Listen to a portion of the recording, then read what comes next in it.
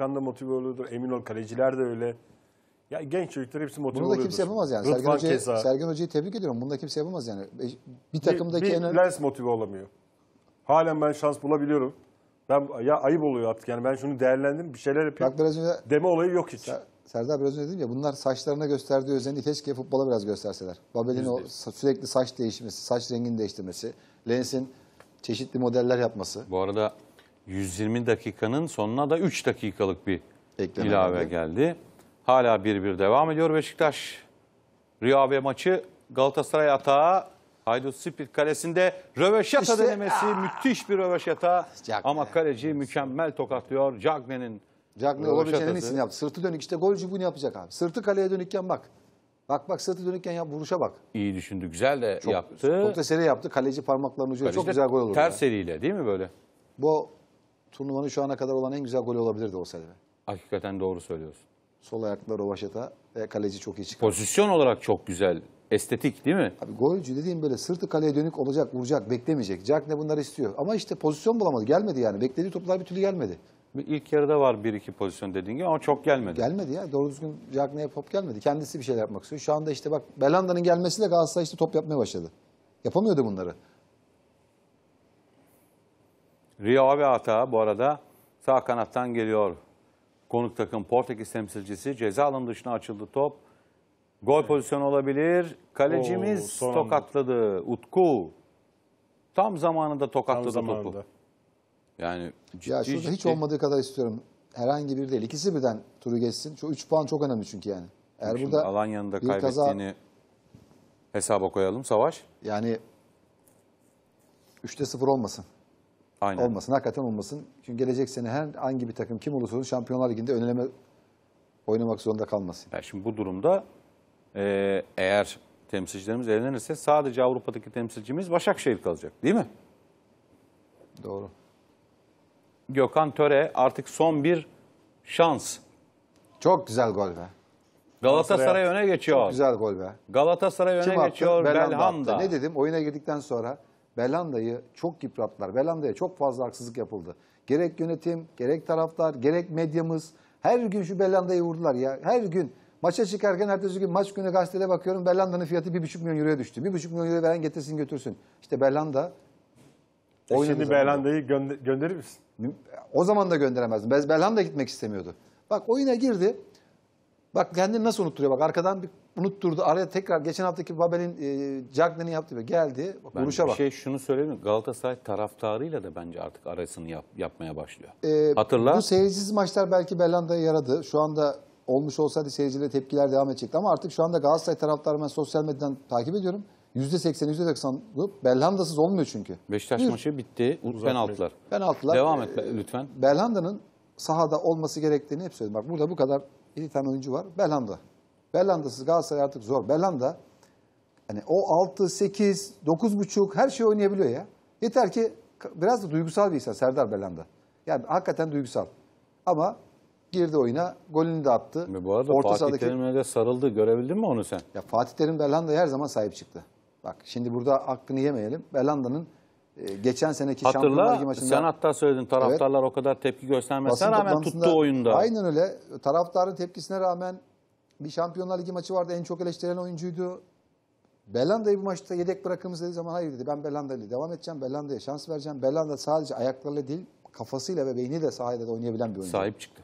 Hep sahip çıktı. Ben, hoca kolay kolay bir oyuncuyu dışarı atmaz. Eğer dışarı atıyorsa mutlaka son raddaya gelmiştir. Oyuncu hep kazanmak için mücadele yani kaybetmek için değil. Belhanda da bu kadar eleştiriye rağmen bu kadar her geçen gün gitti gidiyor menajeri konuşuldu. Menajeri 3 tane teklif getirdi. Teklif masada işte Belhanda gidecek o gelecek bu gelecek. Şu saatten sonra Belhanda'nın yerine lig başlamış. Kim gelirse gelsin Belhanda kadar katkı sağlayamaz. Bu arada tabii Başakşehir ve Sivas'ımız da biliyorsun gruplarda. Savaş. Doğru. Ee, Alanya'mız elendi. İnşallah Beşiktaş'ımız da turu geçer. Ee, böylece Başakşehir Te- zaten gruplarda, tecrübeli- Sivas da gruplarda. Tecrübeli iki takım baktığın zaman Galatasaray, Beşiktaş e, yani Avrupa'nın iki tecrübeli takımları bunlar. Alanya'da ilk kez Avrupa'da gitti. İyi de mücadele ettiler. İyi de mücadele. İzleyemedim maçı ben ama biraz takip ettiğim kadarıyla iyi de mücadele ettiler. Onlar da birbiri yakalasalar belki penaltıya gidecekti. E, Sivas Spor da daha önce Avrupa'ya gitti, mücadele etti. Başakşehir Geçen sene göğsümüzü kabarttı. Talihsiz bir şekilde Avrupa Kupası'na veda etti. Bu sene de inşallah Başakşehir ve Sivasspor buradan devam ederler ama şu golle beraber Galatasaray avantajı eline geçirdi yani. Evet Belhanda hakikaten e, son lig maçında da çok klastı golü hatırla. Tabii ki.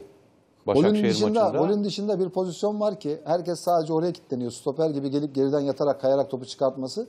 Onun dışında saha içindeki o koşu mücadelesi, top çaldıkları. Bak Omar giriyor oyuna. Taşdemir çıktı. Şimdi Lines e, sola, Yanlış mı gördüm? Omar sağa doğru. Yo, evet Omar Tabii oyuna şimdi girdi. artık 1-0'a yatmak değil. Biraz daha şimdi kanatlardan e, daha fazla top gelecek. 10 dakika kaldı. Emre Taşdemir istenen bir oyuncuydu. Teklifler vardı. Belki de son maçına çıkmış olacak. Kayseri. Kayseri çok fazla. Geçen sene orada iyi işler yaptı. Kayseri istiyor. Belki de son maçına çıkmış olacak. Hoca böyle bir jest de yapmış olabilir. Ama Galatasaray'da Beşiktaş'la Galatasaray'ı analiz ederken belki böyle acaba o Avrupa Kupası'na işte veda mı etmek istiyor. Fatih Hoca dünkü basında da söyledi.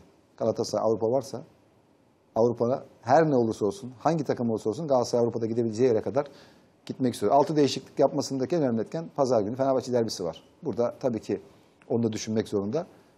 İşte bir oyuncu değişikliği de farkını gösterdi. oturttu kulübe. Emre öyle. Arda öyle. ben Luy- bu, bu öyle. bu değişikliklerin içinde Luyendama'yı anlarım. Luyendama çünkü 6 ay gibi bir süre uzun sakatlıktan çıktı. Sağda da derbiyi düşündüğü için mi? tabii ki derbi düşün çünkü yoruldu. Burada bak yorulmayan iki tane futbolcu var. Taylan 25 yaşında, Marka 24 yaşında. Onun dışındakiler yaş ortalamalarına bak. Hep 27, 28. Yani Babel 30'un üzerinde.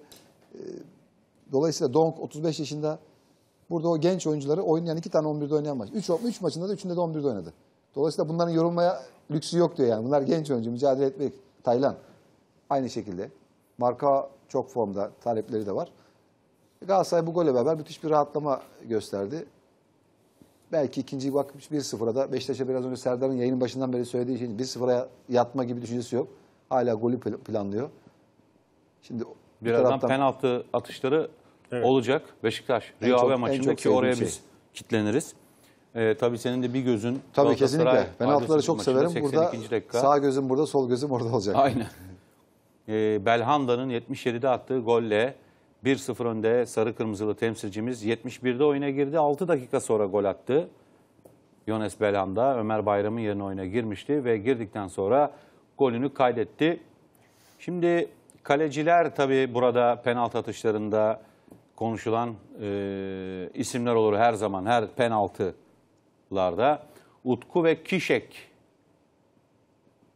iki kaleci. Biz tabii Utku'ya yürekten başarılar diliyoruz. Ee, Beşiktaşlı oyuncuya, Beşiktaşlı oyuncumuza, Utku'ya, Kişek'le birbirlerine ikisi de başarılar diledi. İlk penaltıyı biz kullanacağız. Penaltı Beşiktaş. atışlarında kalecilerin. Beş- Evet. penaltı atışlarında kalecilerin yüz ifadesi benim için çok önemlidir biliyor musun? Utku'da müthiş bir özgüven gördüm. Yani sonuç ne olacak bilmiyorum ama böyle hiç tedirginlik yok üzerinde. Genç Yok, yaşına rağmen o e, meslektaşı kaleciyle karşı karşıyaki yüz ifadelerine baktım. Böyle inanılmaz bir rahatlık gördüm ya. O rahatlık inşallah kurtarışlarına yansır. Bak daha gergin bir kaleci var karşısında. Şu anda değil mi? Daha gergin. Çok, çok gergin gördüm bak. İlk penaltımızı Mensah yanılmıyorsam değil mi? Mesela iyi penaltı atar. Yani Mensah. şimdi şey diyemiyorum ama iyi penaltı atar. Mensah topun başında. Kişek kalesine dikkatli. Hakem işareti verdi. Mensah çok topun arkasına geçti. Bir hayli gerildi Mensah. Mensah ve gol. 1-0 öne geçiyoruz. Rio Ave karşısında gol. Bernard Mensah'tan sevgili seyirciler. E, penaltı atışları da öndeyiz. Kaleci Haydut Spik'te bir oyuncu değişikliği. Krekovic oyuna giriyor. Konu Haydut Spik'te. Temsilcimiz Galatasaray'ın tek golü üstünlüğü var. Şimdi bu kez kaleye Utku geçti. Beşiktaş'ta Rio Ave penaltı vuruşunu kullanacak. Bruno Moreira topun gerisindeki isim. Bruno Moreira e, beraberlik golünü atan oyuncuydu Rio Ave'de. Utku dikkatli kalesinde sağ ayağıyla kullanıyor. Moreira ve kalecimiz ters köşede 1-1 şu anda 1-1 oldu.